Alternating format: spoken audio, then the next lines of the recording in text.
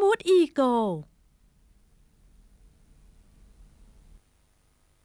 สบู่เบนเน็ต C&E น้ำยาปรับผ้านุ่มเอ s เซนต์ Fresh and Soft เรื่องโรคหัวใจนะคะ ใครก็ไม่อยากเป็นหรอกค่ะค่ะ แต่โดยเฉพาะโรคหลอดเลือดหัวใจอุดตันเฉียบพลันกับโรคหลอดเลือดหัวใจอุดตันแบบเรื้อรังเนี่ยมันต่างกันยังไงเราต้องไปฟังเสียงคุณหมอค่ะอืมโรคหลอดเลือดหัวใจอุดตันเฉียบพลันเนี่ยเป็นโรคที่สำคัญมาก ทุกคนคงคุ้นเคยกับการที่อยู่ดีคนที่รักก็หลับ แล้วก็เสียชีวิตไป หรือกำลังทำกิจวัตรประจำวัน แล้วก็ฟุบไปทันทีทันใด อันนี้เกือบทั้งหมดเนี่ยเป็นโรคหลอดเลือดหัวใจอุดตันเฉียบพลันแล้วมากกว่าครึ่งหนึ่งของคนไข้เนี่ยนะครับมีโอกาสที่จะเสียชีวิตทันทีถ้าไม่ได้รับการรักษาในเวลาอันเร่งด่วน ความแตกต่างของ